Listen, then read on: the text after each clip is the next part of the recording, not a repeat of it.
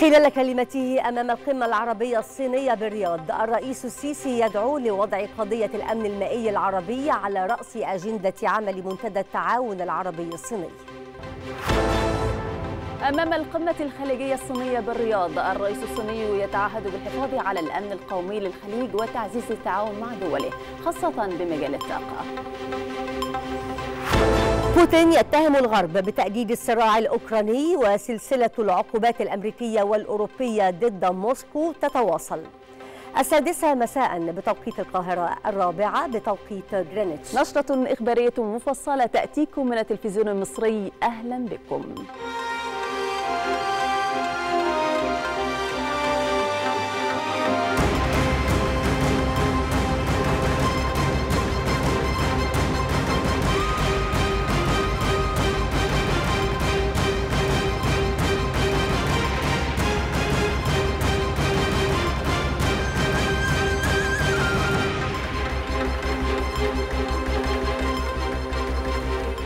حدث تاريخي تدشنه قمة الرياض العربية الصينية للتعاون والتنمية. عنوانها المصالح المتبادلة والشراكة الاستراتيجية بمشاركة الرئيس عبد الفتاح السيسي. محاور عدة تحملها القمة الأولى من نوعها بين الدول العربية والصين وذلك في إطار الرؤية العربية لتنويع علاقاتها مع مختلف دول العالم لا سيما القوى العظمى.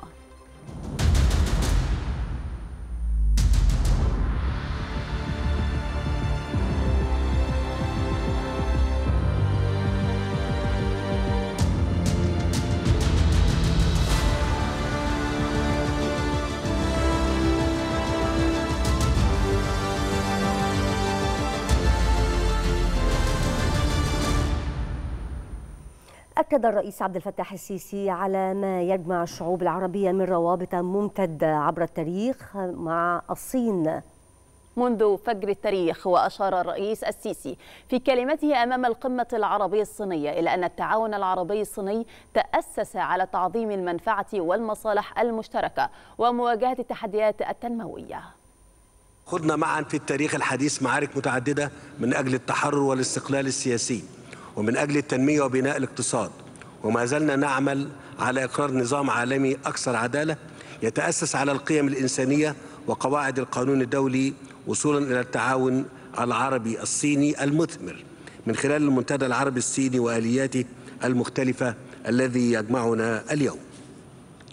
ولقد تأسس التعاون العربي الصيني على تعظيم المنفعة والمصالح المشتركة ومواجهة التحديات التنموية وتعزيز التعاون جنوب جنوب وتقديم أولويات حفظ الأمن والسلم الدوليين وصيانة النظام الدولي المرتكز على ميثاق الأمم المتحدة والقانون الدولي وإيجاد حلول سياسية سلمية للأزمات الدولية والإقليمية.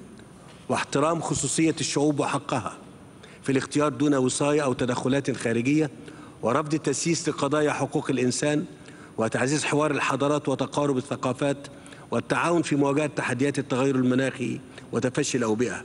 وانتشار أسلحة الدمار الشامل ومكافحة خطر الإرهاب والأفكار المتطرفة كلما وجدت وأينما كانت.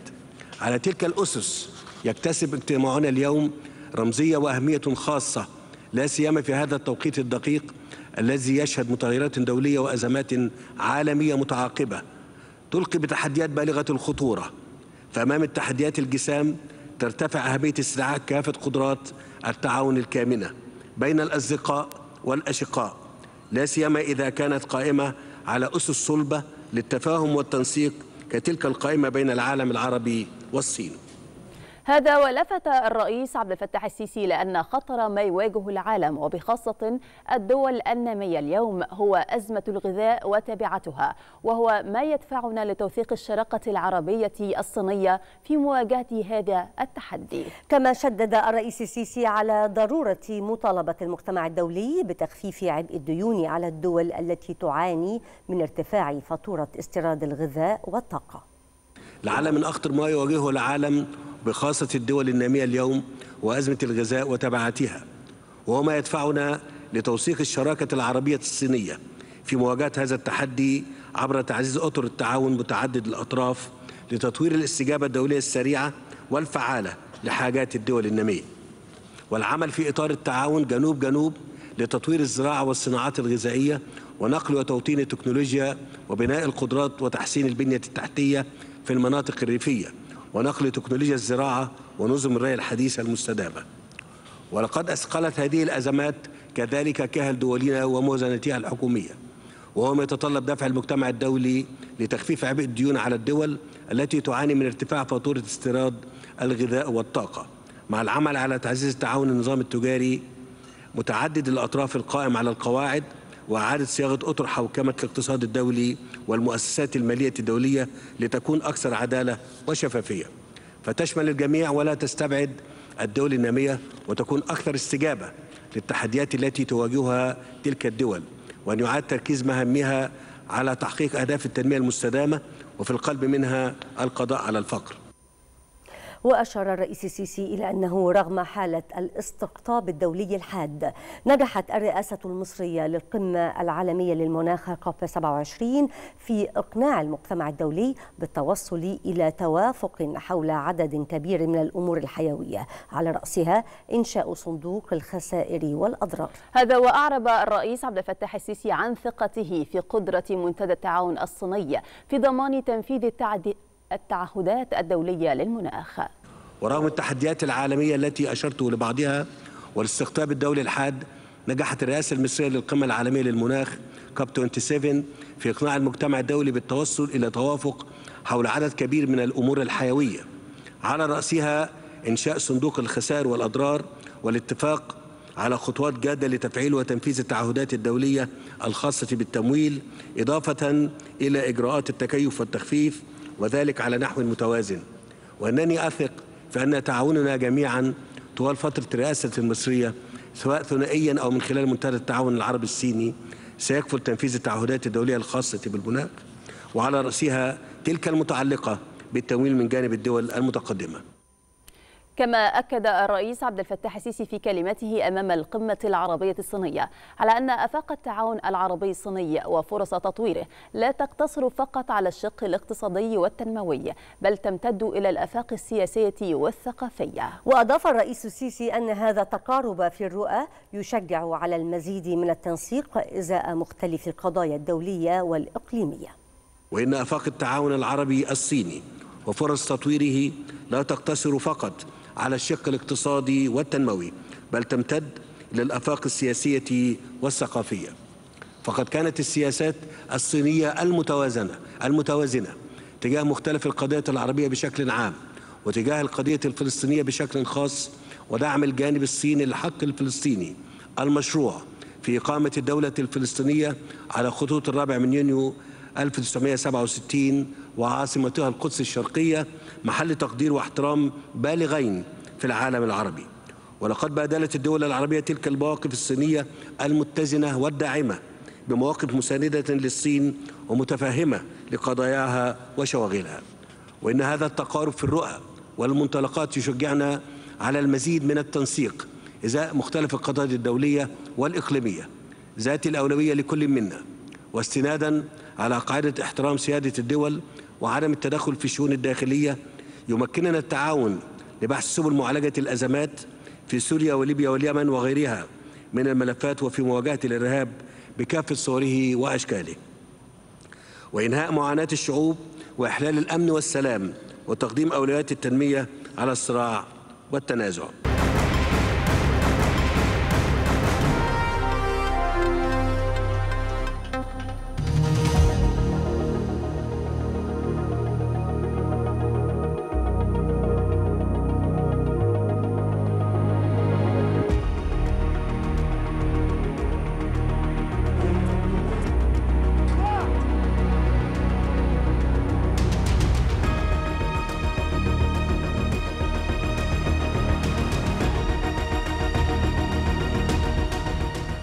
بهذا التاريخ الفريد الذي تميز به التواصل العربي الصيني الإنساني والحضاري الدافق. فكل ثقة أن انعقاد قمتنا سيعطي دفعة ملموسة للتعاون العربي الصيني بكافة صوره.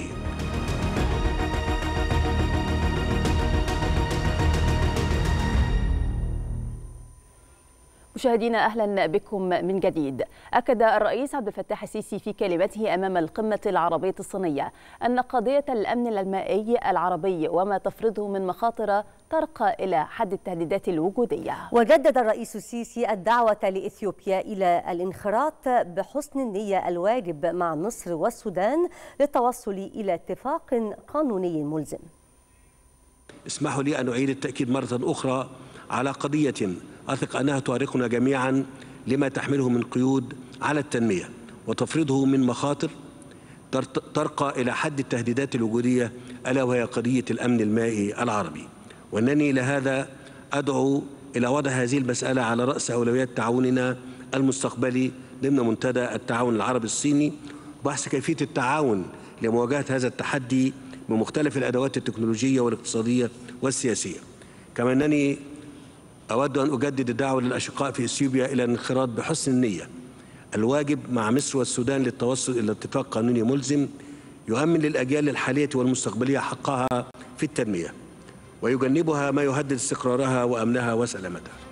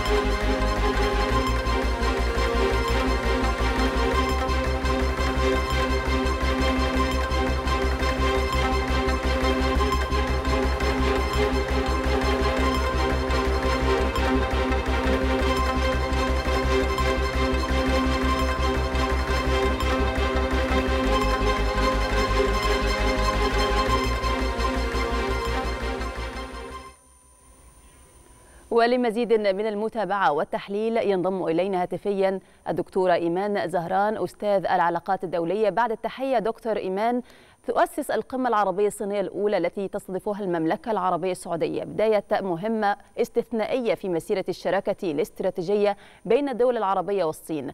ما هي العوامل لنجاح هذه الشراكة ومحاورها من وجهة نظرك؟ مساء الخير في البداية. يمكن بشكل عام القمة الصينية العربية هي قمة استثنائية بكافة المقاييس. قمة استثنائية على مستوى السياسة الخارجية الصينية ورغبة أو إعادة التموضع مرة أخرى وإعادة بناء وإعادة تقييم السياسة والتحركات الصينية في الخارج نحو التوجه للأقاليم الفرعية واختيار منطقة الشرق الأوسط كأحد أهم الأقاليم الفرعية لبناء شراكات ثنائية مع النظام الصيني وده في حد ذاته تحول نوعي في السياسة الخارجية الصينية. كذلك تحول نوعي واستثنائي في السياسة الخارجية العربية وده بالنظر للتغير في حالة العالم العربي ككل حالة الشراكات أو بناء التكامل الاقتصادي وبناء التكامل العربي. الخريطة إعادة ترسيم خريطة الشرق الأوسط فيما يتعلق بالأهداف والأولويات. كل تلك الأمور بتفرض استثنائياتها ده على المستوى الثنائي البيني ما بين الصين ومنطقة الشرق الأوسط. يمكن كذلك نقطة أخرى تتعلق بمدى استثنائية أو عمق ونوعية القمة القائمة خاصة وأنها بتمر في ظرف استثنائي. جملة من التفاعلات السياسية بتضرب ليس فقط العالم ولكن بالنظام الدولي ككل. لا نعي فقط الحرب الأوكرانية روسيا القائمة لكن كذلك تداعياتها اللي بتشتمل على كافة الأقاليم الفرعية الشرق الأوسط منطقة آسيا الكيانات الأوروبية أفريقيا دول الأمريكتين وما إلى ذلك تداعيات لا زالت قائمة. كذلك التداعيات والتهديدات الغير تقليدية. يعني لا زلنا حتى وقتنا هذا نتعافى من التداعيات والانعكاسات السلبية لجائحة كورونا.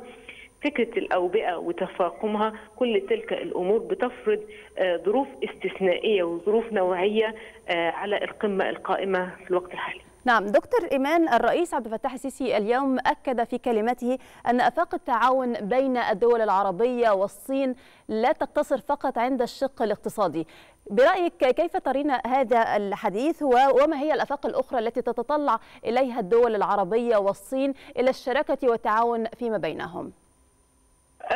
طبعا يعني بخلاف الشراكات الاقتصادية ونعول على هذا الأمر مبادرة الحزام والطريق يمكن سيادة الرئيس بيعي في كلماته الشق السياسي والشق الأمني. في يعني في منظوره السياسي.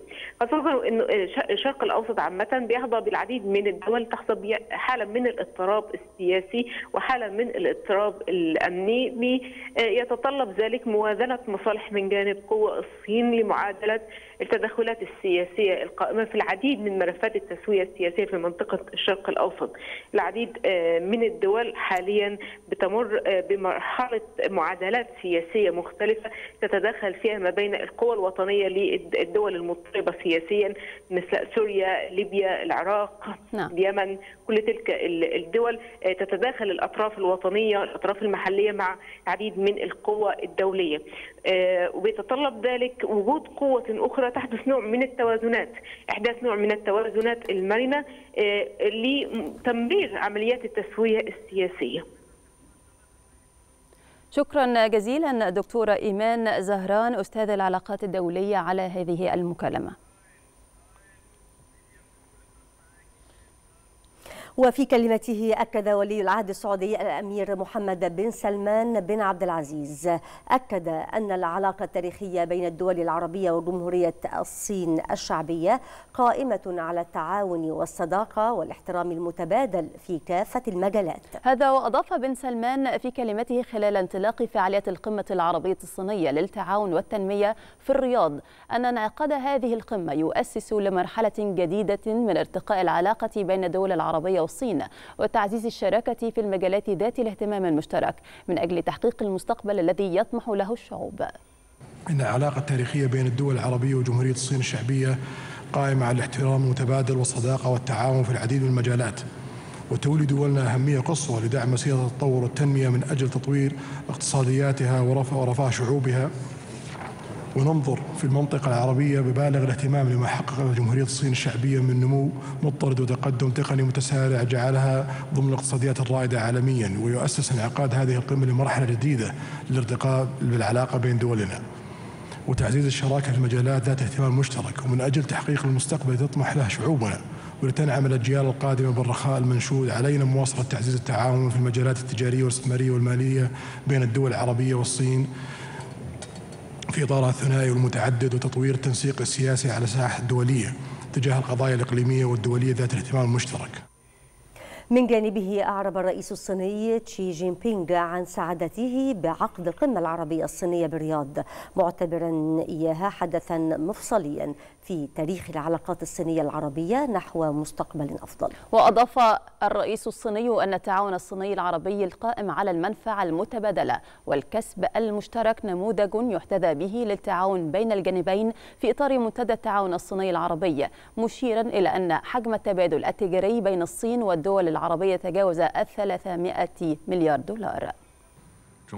يعد التعاون الصيني العربي القائم على المنفعة المتبادلة والكسب المشترك نموذجا يحتذى به لتعاون الجنوب الجنوب حيث تم إنشاء 17 آلية تعاون بين الجانبين في إطار منتدى التعاون الصيني العربي. وخلال السنوات العشر الماضية تجاوز حجم تبادل التجاري بين الصين والدول العربية 300 مليار دولار أمريكي بزيادة 1.5 ضعف. وبلغ رصيد الاستثمار المباشر المتبادل بين الجانبين. 27 مليار دولار أمريكي بزيادة 2.6 ضعف. وتم تنفيذ أكثر من 200 مشروع في إطار التعاون في بناء الحزام والطريق التي عادت بالخير على قرابة مليارين نسمة من السكان.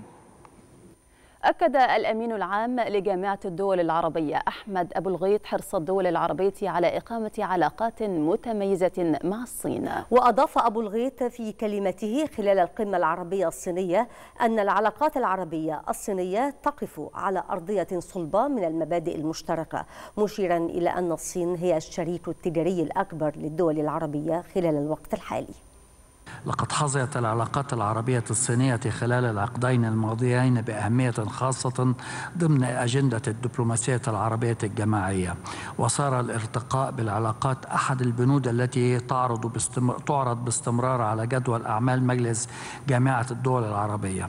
كما يؤكد المجلس دوما على حرص الدول العربية على تعزيز تلك العلاقات مع الصين في مختلف المجالات. صحيح أن الدول العربية تتمتع فرادى بأفضل العلاقات مع الصين إلا أن الجهد المبذول لتطوير العلاقات بشكل جماعي كما نفعل اليوم من خلال هذه القمة يأخذ العلاقات بين الجانبين إلى مستوى أبعد وأعمق. إن الصين تعد اليوم الشريك التجاري الأكبر للعالم العربي.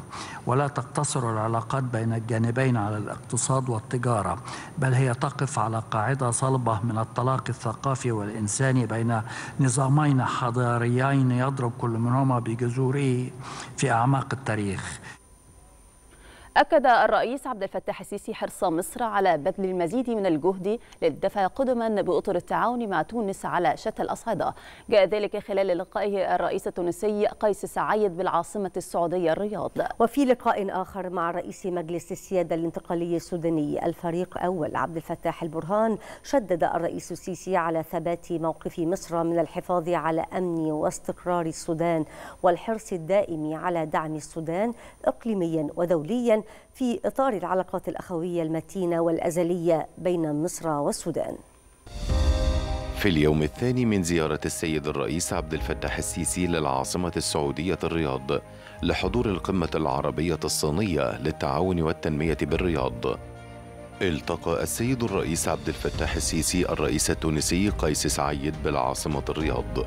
المتحدث الرسمي باسم رئاسة الجمهورية صرح بأن السيد الرئيس أشاد بتميز العلاقات الثنائية الأخوية بين مصر وتونس متمنيا سيادته كل التوفيق والنجاح للسلطة التنفيذية بتونس تحت قيادة الرئيس قيس سعيد في إدارة الدولة خلال هذا المنعطف المهم من تاريخ الشعب التونسي الشقيق.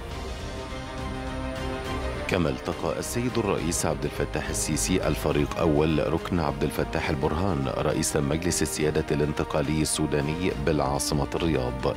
اللقاء شهد تبادل وجهات النظر بين الجانبين حول مجمل العلاقات الثنائية والموضوعات ذات الاهتمام المشترك بين البلدين. في كافة المجالات بما يسهم في معالجة التحديات المشتركة وتعميق آفاق التعاون وتسريع وتيرة التنمية. حرصت المملكة على عقد هذه القمم لإيمانها بأهمية تعزيز العلاقات وتنمية الشراكات مع الدول المؤثرة كجمهورية الصين الشعبية لخدمة أهداف دولنا وحماية مصالحها.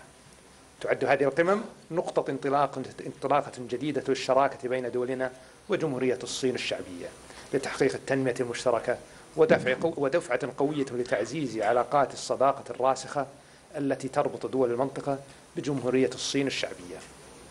شهادة القمة السعودية الصينية عقد جلسة مباحثات بين القيادة الرشيدة حفظه الله وفخامة الرئيس الصيني ركزت على تعزيز الشراكة التاريخية والاستراتيجية المتميزة بين البلدين واستثمار إمكاناتها السياسية والاقتصادية في خدمة مصالحهما المشتركة وتعزيز الجهود القائمة من خلال اللجنة السعودية الصينية المشتركة رفيعة المستوى وتكثيف التواصل بين القطاعين الحكومي والخاص في البلدين لبحث الفرص التجارية والاستثمارية وترجمتها لشراكة ملموسة وتضمنت المناقشات خطة المواءمة بين رؤية المملكة 2030 ومبادرة الحزام والطريق. واتفقنا على أهمية تسريع وتيرة المواءمة بين مشاريعها في البلد وتعميق التعاون العملي بين الجانبين في مجالات الاقتصاد والتجارة والنقل والبنية التحتية. والطاقة بما يحقق المنفعة المتبادلة والتنمية المشتركة. وشهادة القمة توقيع وثيقة الشراكة الاستراتيجية بين المملكة والصين وعدد من الاتفاقيات ومذكرات التفاهم التي تهدف الارتقاء بالعلاقات إلى آفاق أوسع وفيما يتعلق بالقمة الخليجية الصينية أكدنا على السعي المشترك لتعزيز العلاقات السياسية والاقتصادية بين الصين ودول الخليج واعتمدنا خطة العمل المشتركة 2023 2027 وتطرقت نقاشاتنا إلى استمرار العمل من أجل التوصل لاتفاق التجارة الحرة بين الصين ودول المجلس. وشكلت القمة العربية الصينية فرصة لتثمين الروابط التاريخية والتفاعلات الثرية بين حضاراتنا العريقتين والتشاور حول سبل تحقيق السلام والتنمية في المنطقة. كما أكدنا من خلال القمة على دعمنا لمبادرة المجتمع العربي الصيني المستقبل المشترك نحو العصر الجديد. وللدور الهام لمنتدى التعاون العربي الصيني في تعزيز التعاون الجماعي بين الصين والدول العربية. والآن أعطي الكلمة لمعالي الأخ أحمد أبو الغيط أمين الجامعة العربية. فليتفضل. شكرا. شكرا صاحب السمو أولا ينبغي أن نوجه الشكر إلى خادم الحرمين الشريفين الملك سلمان بن عبد العزيز آل سعود ملك المملكة العربية السعودية. وصاحب السمو الملكي الأمير محمد بن سلمان ولي العهد ورئيس مجلس الوزراء. حقيقة كان هناك ضيافة رائعة تنظيم رائع ونتائج يعني بالغة الأهمية. أهم شيء في كل هذا الزخم اللي إحنا شفناه النهارده أو اللي شاهدناه النهارده هو التفاهم العربي الصيني على ثلاث وثائق رئيسية. ثلاث وثائق رئيسية.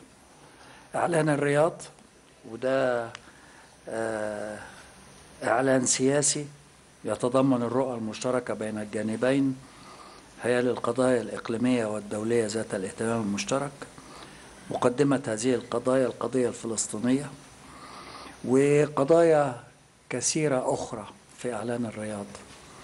ولكن أيضا كان هناك وثيقة الخطوط العريضة لخطة التعاون الشامل بين جمهورية الصين الشعبية والدول العربية.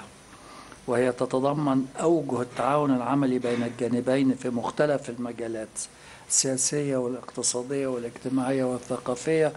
وأي شيء تفكر فيه أي شيء تفكر فيه هتلاقيها موجودة في هذه الوثيقة.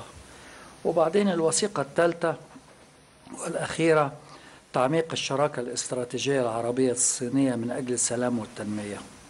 وهي وثيقة تؤكد على الارتقاء بالتعاون بين الجانبين العربي والصيني إلى آفاق أرحب على المستوى الثنائي ومستوى منتدى التعاون العربي الصيني.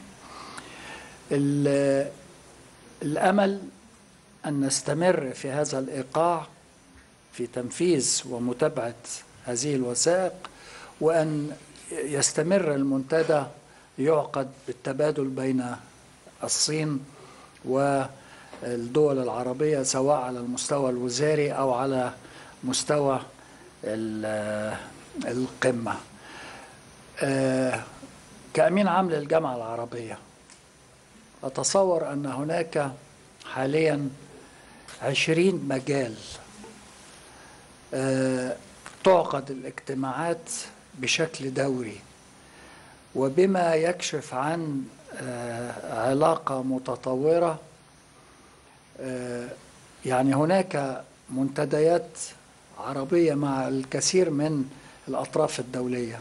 هناك الاتحاد الأوروبي هناك أمريكا اللاتينية هناك الهند هناك روسيا هناك اليابان. ولكن المنتدى الصيني العربي تقدم تقدم الحقيقة بالغ التطور. فهو ده اللي أنا أحب بس أضيفه. شكرا جزيلا معاليك وانتهز هذه الفرصة للتعبير عن جزيل شكرنا لما قمتم به شخصيا وفريقكم في الأمانة من حسن تنظيم وترتيب و إعداد لهذه القمة العربية الصينية فلكم الشكر. والآن أعطي الكلمة لمعالي أمين عام مجلس التعاون الخليجي فليتفضل. شكرا سمو الوزير وشكرا معالي الامين العام جامعة الدول العربية. وسعد الله مساكم جميعا. ورحب فيكم في هذا المؤتمر الصحفي في اختتام هذا اليوم الطويل وهذه القمم الكثيرة التي احتضنتها الرياض والتي تعكس المكانة الإقليمية والدولية للمملكة العربية السعودية وهذا الحشد الكبير والذي وجد اليوم فرصة لطرح كثير من الموضوعات وتبادل الاراء حول مجمل القضايا.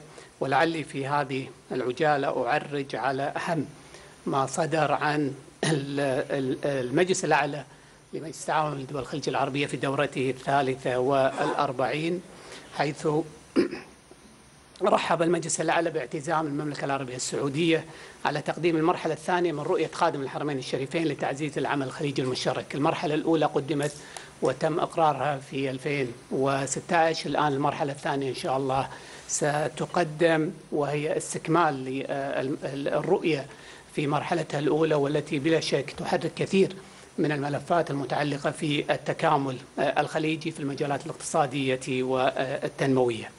كما اعتمد مقام المجلس الأعلى قانون أو نظام التنظيم الصناعي الموحد لدول مجلس التعاون والقانون الموحد للنقل البري الدولي بين دول مجلس التعاون وقانون إدارة الموارد الوراثية النباتية الأغذية والزراعة الموحد لدول مجلس التعاون وكذلك بارك إطلاق مبادرة مصانع المستقبل. كما اعتمد الإطار العام الخطة الاستراتيجية للتعاون الإعلامي المشترك لدول الخليج وميثاق المحافظة على التراث العمراني والإطار العام للاستراتيجية الخليجية للسياحة 2023 2030 جملة من القوانين التي أقرها وباركها مقام المجلس الأعلى اليوم والتي كلها تتمحور في تحقيق بعض مستهدفات رؤية خادم الحرمين الشريفين في مرحلتها الأولى والتي بلا شك تسعى إلى تحقيق التكامل الخليجي في مجاله الأوسع. أكد المجلس الأعلى على أهمية مبادرة الشرق الأوسط الأخضر وبالتأكيد دعم مبادرة السعودية الخضراء وهي مساهمة كبيرة من دول المجلس والمبادرات التي أطلقتها المملكة العربية السعودية لدعم وتعزيز الجهود الدولية في مواجهة تحديات التغير المناخي. طبعا البيان نشر ووزع وتضمن كثير من الموضوعات بس حبيت أعرج على أهم ما ورد فيها. في ما يتعلق في بيان قمة الرياض الخليجية الصينية للتعاون والتنمية والتي جاءت كأول قمة خليجية صينية تعكس هذا هذه العلاقات التاريخية الكبيرة بين دول مجلس التعاون والصين. كون الصين هو الشريك التجاري الأول لدول مجلس التعاون رقم التجارة البينية والتبادل التجاري بين دول مجلس التعاون وجمهورية الصين في العام 2021 بلغ 228 مليار دولار أمريكي. هناك رغبة كبيرة من الجانبين نحو دفع. هذه هذا التعاون إلى مجالات أرحب. كان هناك تأكيد على أهمية تعزيز التعاون. هذا انعكس في خطة العمل المشتركة الفترة القادمة 2023 2027 والتي تناولت 15 مجال من مجالات التعاون المشترك بين دول مجلس التعاون والصين الصين ثاني أكبر اقتصاد. هناك اهتمام كبير في دفع هذه العلاقات مع الصين. هناك رغبة في استكمال مفاوضات التجارة الحرة مع جمهورية الصين وهناك مجالات كثيرة تم التطرق لها في خطة العمل المشتركة التي أقرت اليوم والتي سنعمل, سنعمل إن شاء الله على متابعة فرق العمل كل في اختصاصه لتحقيق المأمول من هذه الخطة. شكرا سمو شكرا جزيلا معاليك و أيضا انتهز هذه الفرصة لشكر معاليكم وفريق العمل في الأمانة لكل ما قدمتموه لترتيب هذه القمتين الهامتين كما أريد أن انتهز هذه الفرصة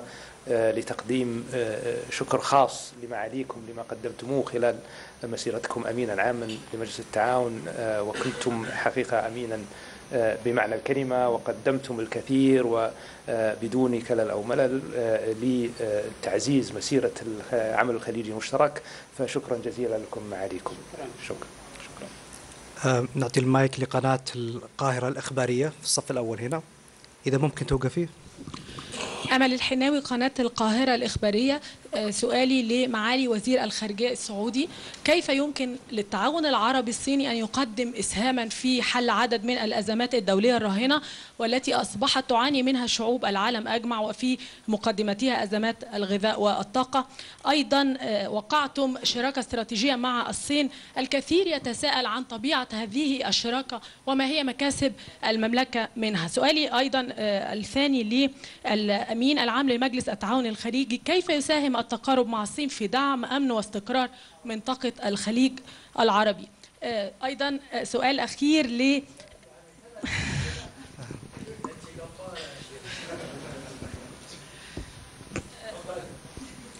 معالي الأمين العام السيد أحمد أبو الغيط تحدثتم عن القضية الفلسطينية. هناك تصعيد ميداني في الضفة من جانب قوات الاحتلال الإسرائيلي وهناك أيضا حكومة يمينية يجري تشكيلها برئاسة نتنياهو. ما العمل المطلوب من المجتمع الدولي للحيلولة دون تفجير الأوضاع في الأراضي الفلسطينية؟ شكرا. شكرا جزيلا. لا شك أن التعاون بين مجموعة بوزن وثقل وحجم مجموعة الدول العربية جامعة الدول العربية والصين ثاني أكبر اقتصاد في العالم من شأنها أن يساهم في معالجة كثير من التحديات سواء تحديات تخصنا أو تحديات في العالم اوسع ولنا في العالم العربي بحكم أننا جميعا دول نامية اهتمام كبير وتركيز عالي باهتمامات العالم النامي والصين كذلك لها اهتمام بهذا الجانب. والتعاون بيننا واستكشاف فرص التنسيق ومعالجه هذه التحديات بجمع مواردنا. وليس فقط حقيقة مع الصين يعني نشاهد الجامعة العربية ومجموعة الدول العربية تحرص على مد اليد للجميع والتعاون مع الجميع لكن لا شك أن التعاون مع الصين بحجمها وثقلها مهم للغاية وسيساعد في معالجة هذه التحديات. بالنسبة للشراكه الاستراتيجية السعودية الصينية مهمة للغاية. الصين هي الاقتصاد الثاني في العالم المملكة العربية السعودية هي الاقتصاد الخامس عشر في العالم المملكة العربية السعودية اقتصادها هذه السنة هو الاقتصاد الأسرع نموا في العالم ويتوقع أن يكون الأسرع نموا في الجي 20 لبضعة سنوات. توفيق الله وحمده. نتوقع أن نصل إلى أرقام ممتازة وقوية في النمو الاقتصادي لهذه السنة. وهذا يجعل الفرص المتاحة للطرفين من خلال هذه الشراكة الاستراتيجية كبرى. المملكة العربية السعودية بموقعها الاستراتيجي المتوسط بين الغرب والشرق تتيح لجمهورية الصين الفرصة لبناء الجسور بين الجانبين الكوكب وأيضا الاستفادة من القدرات اللوجستية الكبرى التي تبنى في ظل رؤية 2030 والمشروع الكبرى الموجود عندنا في نفس الوقت الاقتصاد الصيني بالنسبة لنا هو أهم سوق فهي الشريك التجاري الأول بالنسبة للمكعب السعودية. وتعزيز هذه الشراكة وبحث عن تطويرها إلى إلى أفق أوسع من مجرد التبادل التجاري التقليدي بالتعاون التقني وبنقل التقنيات وبالاستثمار المتجه للاتجاهين كل هذا سيعزز من فرص النمو للبلدين ويعطينا الفرصة لاستكشاف ليس فقط ما ينفعنا لكن ينفع منطقتينا. أعطي الكلمة الآن أولا لمعاليك وثم لمعاليك شكرا سمو الأمير. لا أتصور أنه مسألة الإدانة وإدانة التصرفات الإسرائيلية اليوم أصبحت كافية. وبالتالي المطلوب عدة محاور للعمل. فيما يتعلق بالجمعية العامة في الأمم المتحدة يجب أن إحنا نتحرك وبسرعة أمام الجمعية العامة نطالب بالعضوية الكاملة لفلسطين في عضوية الأمم المتحدة لأنه لا يكفي للمجتمع الدولي أنه يؤيد الفلسطينيين فقط. فلتسمح لهم بالجلوس كدولة دائمة موجودة في الأمم المتحدة. ده مطلب. المطلب الآخر أتصور أنه من المهم جدا الإسراع بالحصول على الرأي الاستشاري من محكمة العدل الدولية فيما يتعلق بوضعية التواجد الإسرائيلي على الأرض الفلسطينية. الفلسطينيين يقولون أنه احتلال ويجب أن ينتهي وبالتالي على محكمة العدل الدولية أن تقول رأيها ورأي بأسرع وقت ممكن. الحاجة الثالثة أنه يجب أن أنه من يؤيد إسرائيل أو يزعم أنه يتفهم المواقف الإسرائيلية أنه يحذر الجانب الإسرائيلي أو هذه الحكومة عند تشكيلها لأنه المعروف أنه رئيس الحكومة المرشح طلب 14 يوما إضافية للاستمرار في السعي لتشكيل هذه الحكومة. تحذير الحكومة من أصدقائها أمر مطلوب جدا. تصدي المجتمع الدولي لأي أفعال إسرائيلية أمر مطلوب جدا. وحدة العمل الفلسطيني. يجب أنه يسرع الفلسطينيين بتوحيد مواقفهم. ولا يسمحوا بأنه أنه إسرائيل تستغل هذا الانقسام في الزعم أنه ما فيش شريك عربي. استمعنا اليوم للرئيس أبو مازن. يقول أن لا يوجد شريك إسرائيلي هو فعلا لا يوجد شريك إسرائيلي لأنه لا يرغب في فالمطلوب حركة وحركة سريعة وحركة مستمرة ومطلوب من هؤلاء الذين يتحدثون عما يسمى القيم القيم أنهم يساووا في مواقفهم من كل هذه القيم. بمعنى عدم جواز احتلال الأراضي بالقوة لا يمكن أن يطبق في فضاء أو مساحة من الأرض ولا يطبق في مساحة أخرى وهكذا. شكرا. شكرا عليك تفضل. شكرا سمو الأمير.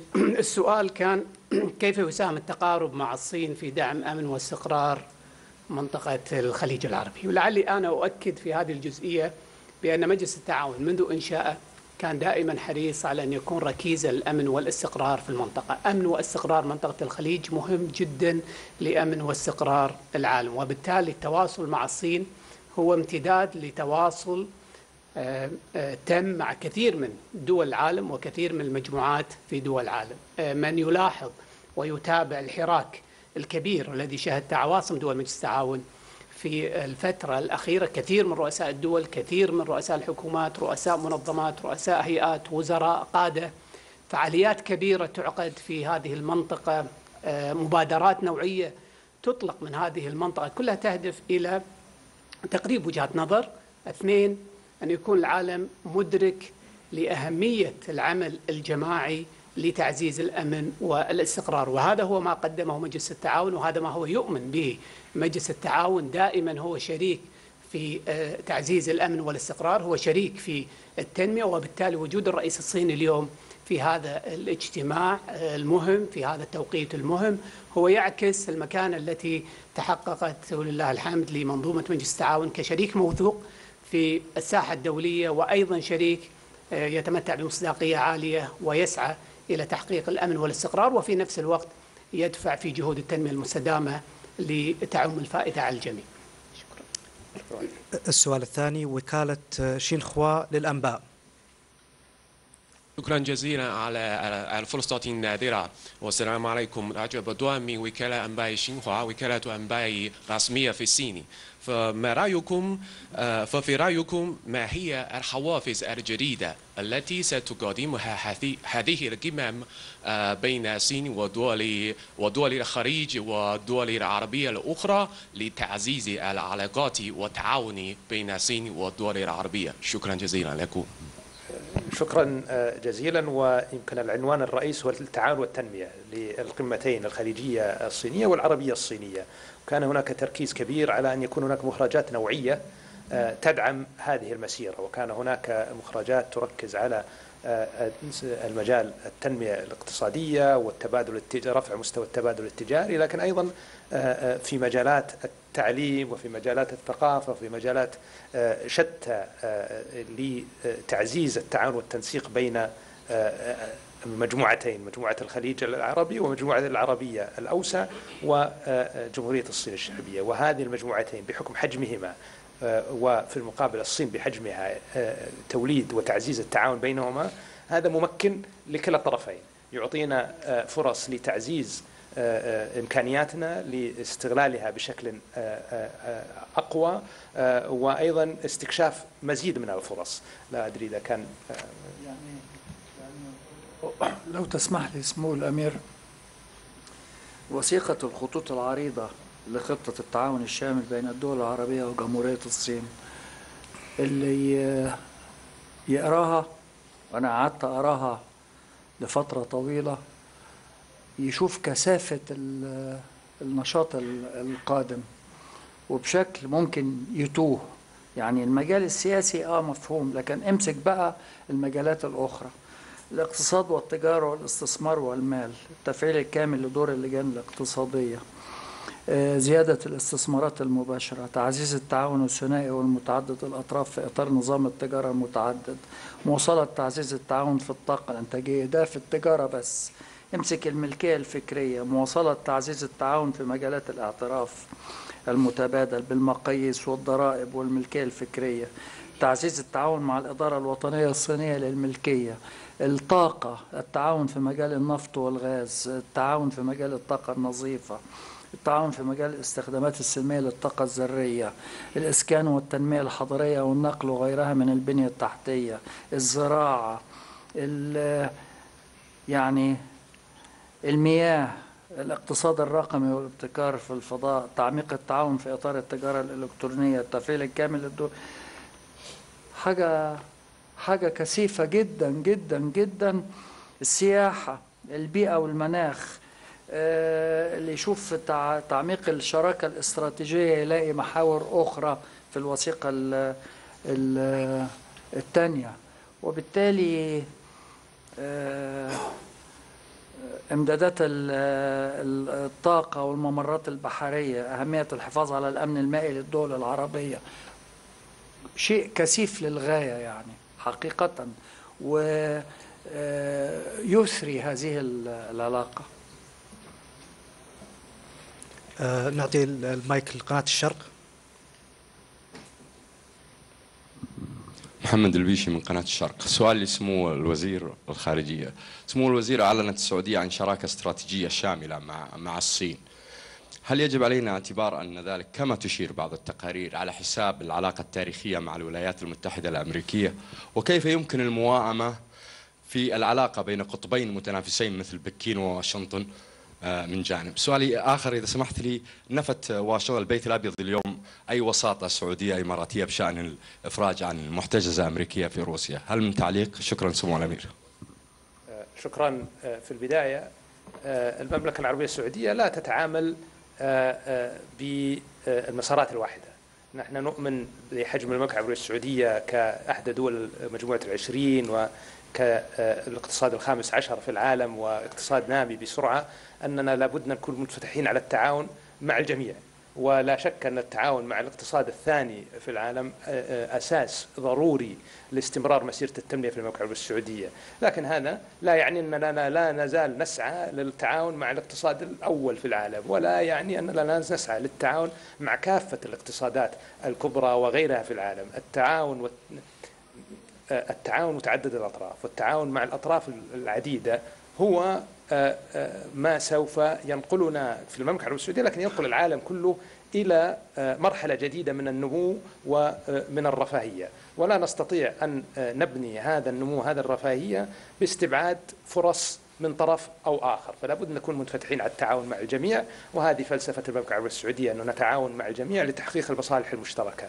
والشراكة الاستراتيجية السعودية الصينية لها عوامل مهمة وواعدة وتدعم مسيرة التنمية في المملكة العربية السعودية وتدعم كذلك التنمية في الصين وفي المنطقة وكذلك عندنا شراكة استراتيجية قائمة مع الولايات المتحدة الأمريكية كما عندنا شراكة استراتيجية قائمة مع الهند ومع اليابان مع فرنسا مع بريطانيا مع ألمانيا كل هذه شركاء يعني رسميا عندنا شراكات استراتيجية ولجان تتابع العمل مع كل هذه الدول لماذا؟ لأن الاقتصاد السعودي في مرحلة توسع كبير ونحتاج كل هذه الشراكات ونحتاج كل هذا التعاون لنستطيع أن نحقق مستهدفاتنا. في نفس الوقت نطمح أن نستطيع الاستفادة من هذا الانفتاح على كافة الأطراف في دعم مسيرة التنمية ليس فقط في المملكة لكن في جوارنا وفي منطقتنا وفي العالم. لأنه مثل ما قلت نحن نرى أن التنافس جيد لكن الدخول في الاستقطاب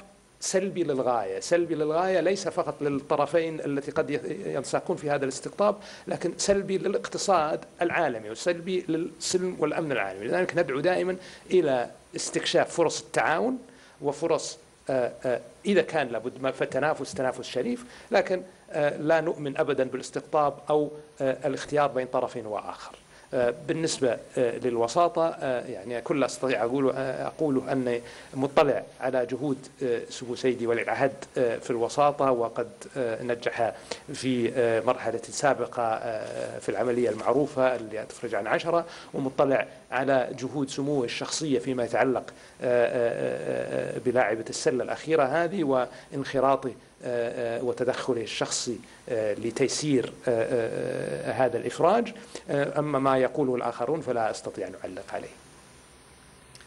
نعطي المايك للفاينانشال تايمز. فاينانشال تايمز. هنا.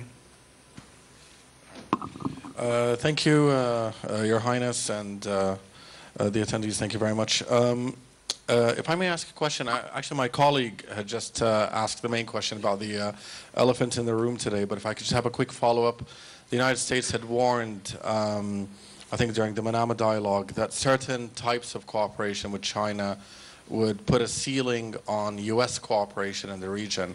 And um, I think today we saw declarations and yesterday about cooperation on 5G, defense, um, generally broadly speaking, and also peaceful use of nuclear energy. So, do you do you see any um, perhaps uh, a different trajectory in your future relations with the U.S. and, and China from this? That's and a quick, just a very quick question, if I may. The Chinese president today alluded to pushing for oil trade in Chinese currency. You've heard obviously the speculation about that in the past few months. Is that something that Saudi Arabia would consider?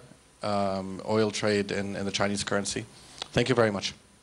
Uh, thank you. On, uh, on trajectories, uh, I think what we, uh, you know, and it was in my answer earlier, we are very much focused on cooperation with all parties. And I think uh, competition is a good thing. So we are, uh, uh, we are in a competitive marketplace. Uh, we have to compete as the Kingdom of Saudi Arabia with a number of economies, and we compete uh, very actively, and we have a very uh, uh, detailed strategy, uh, Vision 2030, to make the country's economy more competitive.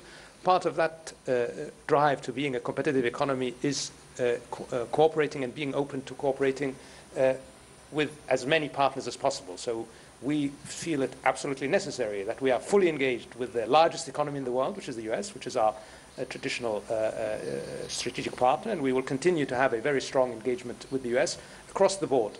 Uh, both in uh, security and uh, in political affairs, but even economically, you know, there are any number of programs and opportunities that we continue to work on with the US. Uh, on the other hand, China, as the second largest economy in the world, as our largest trading partner, will continue to play an important role in our uh, plans, in our progress towards uh, economic diversification away from oil, in uh, building a, a, larger, stronger, more resilient economy. So we will continue to work with all of our partners, and uh, we don't see it as a zero-sum game by any means. We see it as a, a normal part of building a large uh, and sustained economic uh, environment. So we are fully engaged with all of our partners. قناة سكاي نيوز عربية الصف الثاني. On that question, I, I have nothing to add because I'm not, I don't know anything about it. السلام عليكم أنا حمد المحمود من قناة سكاي نيوز عربية سؤالي موجه لك سمو الأمير بعد نجاح الوساطة السعودية الإماراتية الأخيرة في التبادل الأمريكي الروسي هل من الممكن أن نشهد وساطة أخرى سعودية صينية أو خليجية صينية خاصة بأوكرانيا وروسيا لوقف الحرب؟ الحقيقة السعودية منفتحة على كل جهود الوساطة بالتأكيد لكن لم يبحث شيء من هذا شكرا صحيفة People's Day yes, please.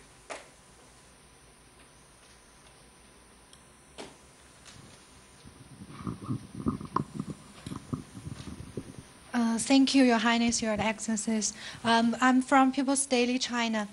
Um, could you please introduce the cooperation between China and uh, Arab countries in the aerospace field?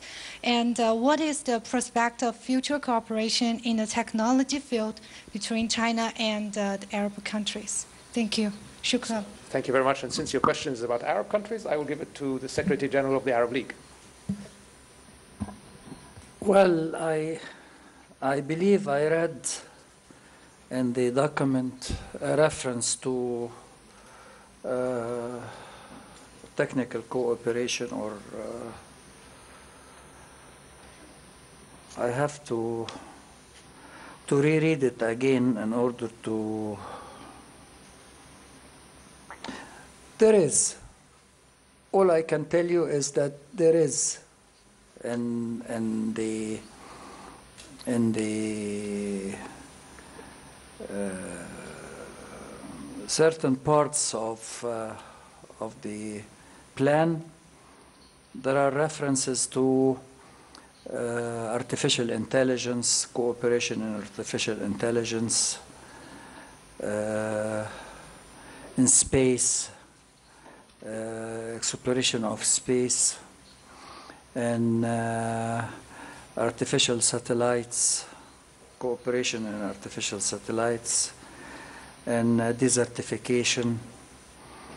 Uh,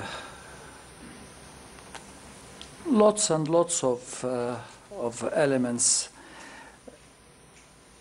We do not intend to uh, reveal that uh, document in full.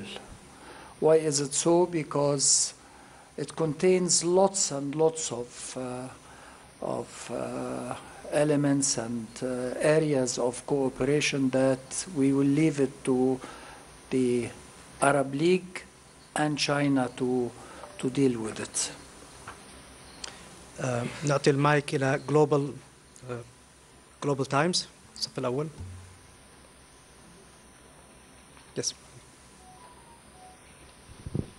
Um, my question is to Your Highness Prince Faisal, and I'm a reporter from.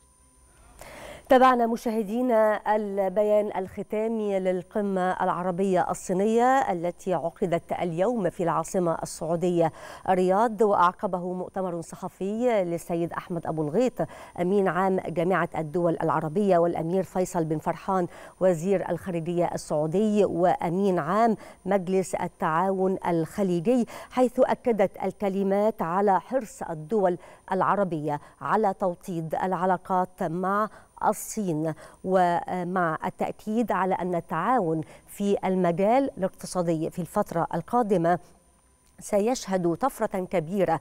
وأيضا التأكيد على أن التعاون مع كافة القوى الدولية مستمر بين الدول العربية دون الدخول في استقطاب لأي منها.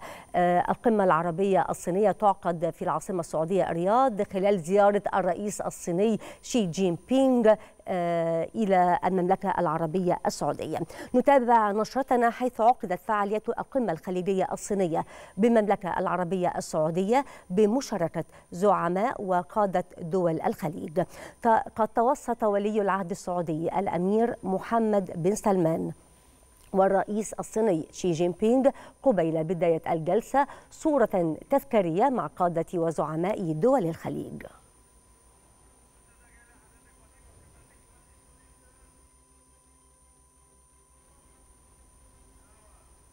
من جهة أخرى أكد الرئيس الصيني شي جين بينغ أن بلاده ستواصل دعمها الثابت لأمن دول الخليج وستواصل استيراد النفط بكميات كبيرة من دول الخليج.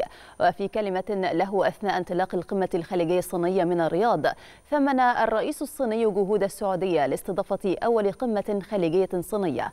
موضحا أن مجلس التعاون الخليجي, الخليجي نجح في تخطي التحديات العالمية مشيرا لأن الدول الخليجية والصين يمكنها تحقيق التكامل الاقتصادي والصناعي. يشيد الجانب الصيني إشادة عالية بما بذلته دول مجلس التعاون الخليجي من الجهود ليصبح المجلس أكثر منظمة إقليمية حيوية في الشرق الأوسط والخليج من خلال التمسك بتقوية الذات عبر تضامن في وجه التحولات العالمية. وتحقيق نمو اقتصادي رغم التداعيات الناجمة عن الجائحة. والعمل على دفع بإيجاد حلول سياسية لقضايا ساخنة وشائكة في المنطقة من المطلوب ونحن نقف عند مفترق الطرق لتاريخ أن نتوارث تقاليد الصداقة بين الصين ومجلس التعاون الخليجي ونثري المقومات الاستراتيجية للعلاقات الصينية الخليجية في ضوء إقامة علاقات الشراكة الاستراتيجية بين الصين ومجلس التعاون الخليجي.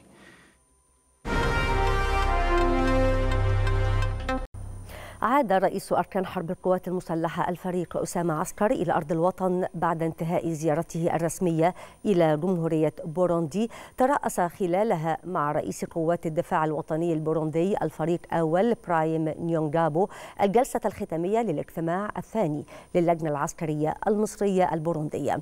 أسفرت اجتماعات اللجنة عن التوافق على تطوير أوجه التعاون العسكري في مجالات التدريب والتأهيل ونقل الخبرات ورفع القدرات العسكرية للجيش البوروندي لمواجهة تحديات الأمن القومي وتحقيق المصالح المشتركة لدول حوض النيل.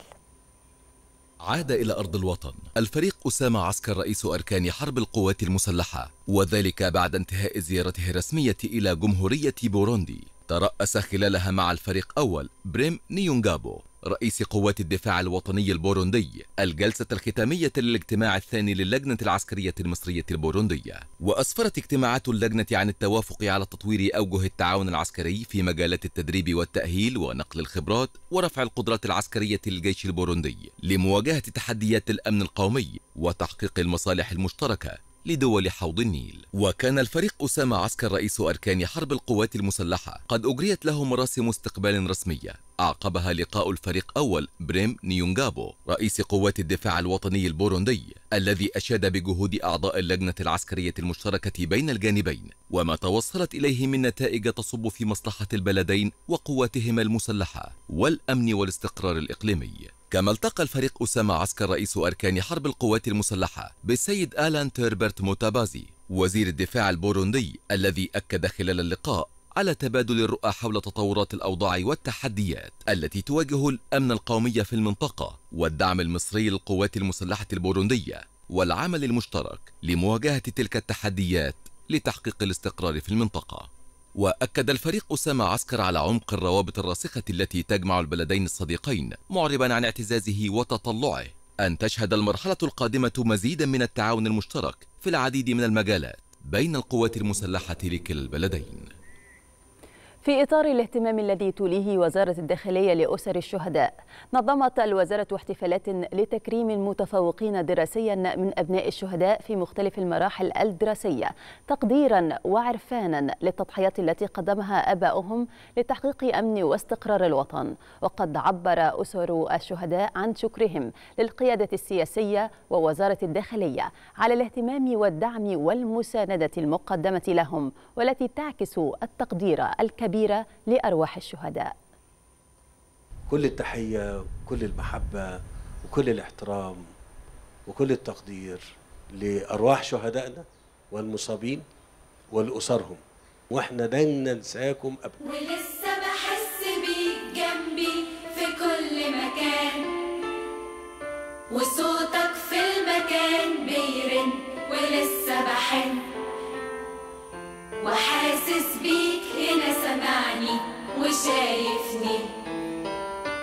في تقليد سنوي تحرص وزارة الداخلية على استمراره. تخليدا لذكرى الشهداء.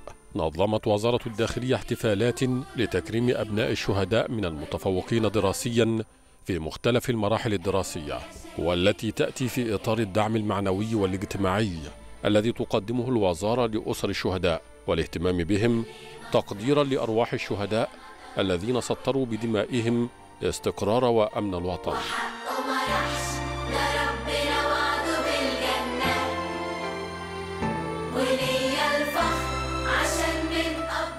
منح أبناء الشهداء المتفوقين كؤوس التفوق وشهادات التقدير وسط مشاعر من الفخر بتضحيات آبائهم الشهداء والاهتمام والرعاية التي تحيط بهم في كل مكان والتقدير الكبير من القيادة السياسية للشهداء وأسرهم.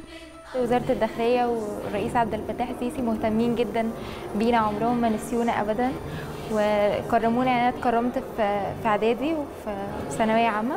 دلوقتي بتخرج من الجامعة وكرموني برضو. فدي حاجة حلوة قوي إن إحنا دايما حاسين إن في ناس في ظهرنا. وبشكر وزارة الداخلية على التكريم ده وإنهم مهتمين بينا دايما ودايما في التكريم. ودايما الرئيس عبد الفتاح السيسي بيذكر الشهداء في المؤتمرات. اشتغل على نفسي عشان أبقى حاجة زي بابا الله يرحمه. ولما يجي حد يسأل هو ده ابن مين؟ ده يبقى ابن الشهيد المقدم محمد زين. أنا عارفك بتسمعني متابعني. بشكر وزارة الداخلية على المجهود العظيم. وكل أب وكل ضابط هنا أب لينا وكل أسر الشهداء كلنا واحد وبشكر كل واحد بيعمل في المجهود العظيم دوت. بشكر وزارة الداخلية على التكريم ده وفرحانة جدا. حاجة جميلة جدا يعني إن أنا أطلع من الأوائل وكنت أتمنى إن هو يبقى موجود معايا عشان يشوفني في المكانة دي بحب أشكر الأب الروحي الرئيس عبد الفتاح السيسي إن هو دايما داعمنا بدعم أبناء أسر الشهداء. وبيدينا دافع إن إحنا نتفوق أكتر من كده.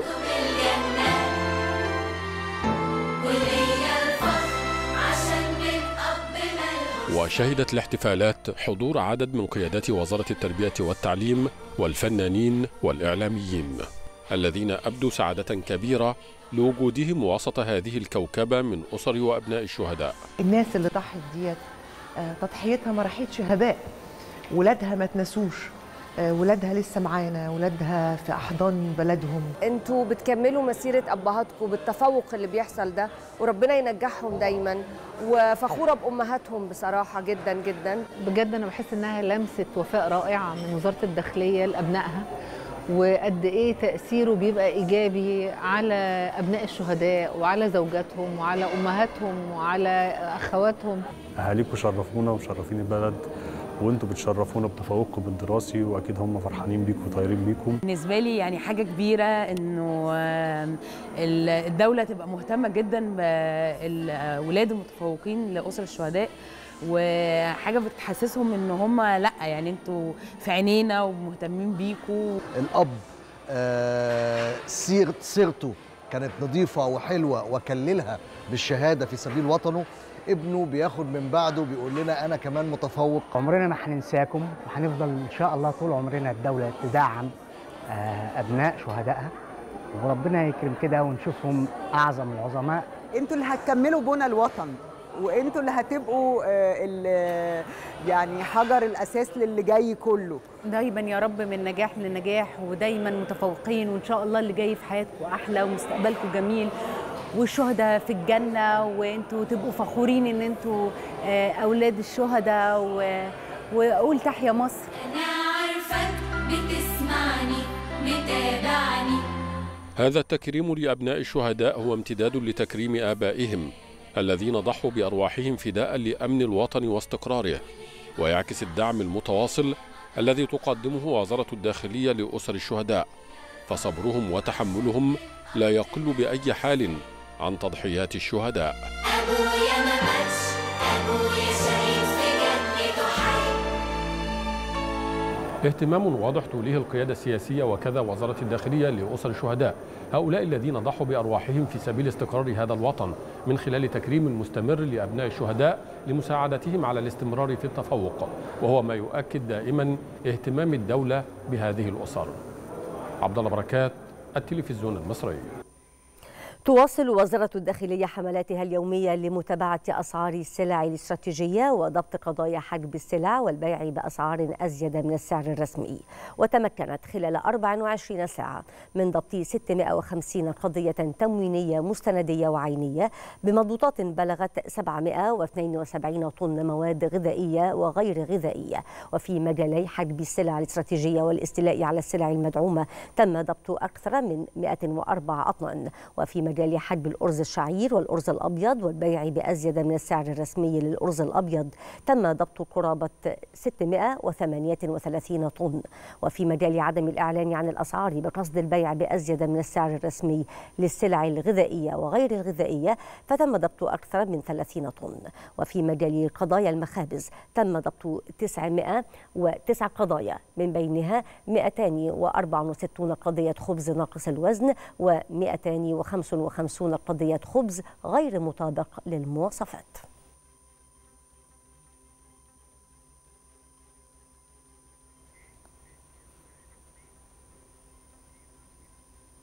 عودة لنشاط الرئيس عبد الفتاح السيسي في الرياض حيث التقى الرئيس السيسي مع صاحب السمو الملكي الأمير محمد بن سلمان بن عبد العزيز ال سعود ولي عهد المملكة العربية السعودية. وصرح المتحدث الرسمي باسم رئاسة الجمهورية بأن سمو الأمير محمد بن سلمان رحب بزيارة السيد الرئيس إلى الرياض مؤكدا اعتزاز السعودية بمسيرة العلاقات المتميزة التي تربط البلدين الشقيقين وما يجمعهما من مصير مشترك ومستقبل واحد. وحرص وحرص السعودية على دعم أطر التعاون الثنائي على مختلف الأصعدة مع الإشادة بالجهود المصرية المساهمة في إنجاح القمة العربية الصينية الأولى. ومن جانبه أعرب الرئيس السيسي عن تقديره لحفاوة الاستقبال. مؤكدا سيادته أهمية اللقاء مع ولي العهد السعودي. لا سيما في ظل هذا التوقيت الدقيق الذي يشهد العديد من التطورات المتلاحقة على الصعيدين الإقليمي والدولي. ومعربا عن الاعتزاز والمودة التي تكنها مصر قيادة وشعبا للسعودية وللأواصر التاريخية الوثيقة التي تجمع بين البلدين مع التأكيد على أهمية استمرار وتيرة التشاور والتنسيق الدوري والمكثف بينهما حول القضايا محل الاهتمام المشترك على أعلى مستوى بما يعكس التزام البلدين بتعميق العلاقات الاستراتيجية الراسخة بينهما ويعزز من وحدة الصف العربي والإسلامي المشترك في مواجهة مختلف التحديات التي تتعرض لها المنطقة في الوقت الراهن. وذكر المتحدث الرسمي لرئاسة الجمهورية أن المباحثات تناولت سبل تعزيز مختلف جوانب العلاقات الثنائية بين البلدين لا سيما على الصعيدين الاقتصادي والاستثماري وتدشين المزيد من المشروعات المشتركة في ضوء ما يتوافر لدى الجانبين من فرص استثمارية واعدة فضلا عن الاستغلال الأمثل لجميع المجالات المتاحة لتعزيز التكامل بينهما.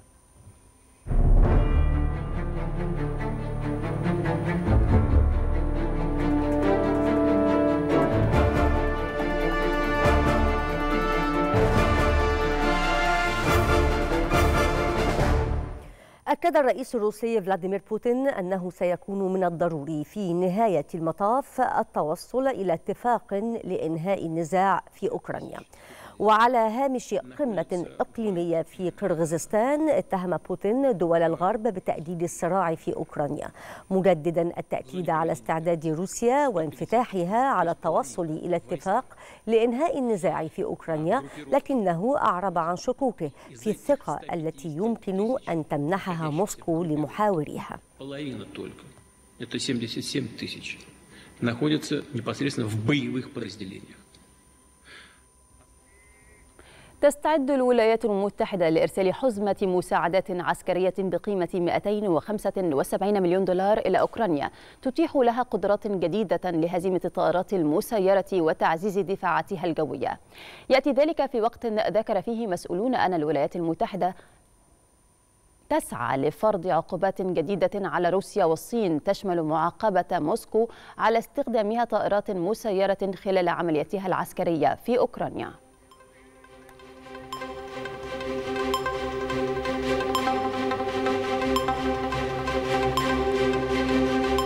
وصلنا مشاهدينا وإياكم إلى نهاية النشرة. لا تبقى بها سوى التفكير بأبرز أخبارها. خلال كلمته أمام القمة العربية الصينية بالرياض الرئيس السيسي يدعو لوضع قضية الأمن المائي العربي على رأس أجندة عمل منتدى التعاون العربي الصيني أمام القمة الخليجية الصينية بالرياض الرئيس الصيني يتعهد بالحفاظ على الأمن القومي للخليج وتعزيز التعاون مع دوله خاصة في مجال الطاقة. بوتين يتهم الغرب بتأجيج الصراع الأوكراني وسلسلة العقوبات الأمريكية والأوروبية ضد موسكو تتواصل.